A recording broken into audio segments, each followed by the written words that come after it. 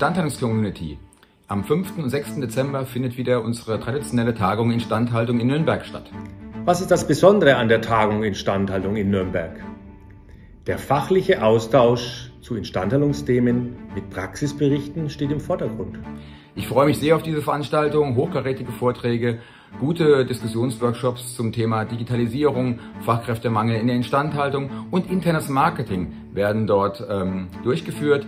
Nutzen Sie die Möglichkeit, einmal über den Tellerrand hinauszuschauen und sich inspirieren zu lassen. Wir als Instandhaltung von Scheffler sind jedes Jahr dabei in Nürnberg, weil wir den Austausch mit anderen Instandhaltungen sehr schätzen. Ich freue mich auf eure, auf Ihre Beteiligung. Ich hoffe, dass wir uns da alle in Nürnberg wiedersehen. Sind Sie dabei bei dem, wie es ein Teilnehmer so schön bezeichnet hat, Familientreffen der Brancheninsider? Wir freuen uns auf Sie. Weitere Informationen finden Sie auf unserer Homepage oder melden Sie sich gleich an.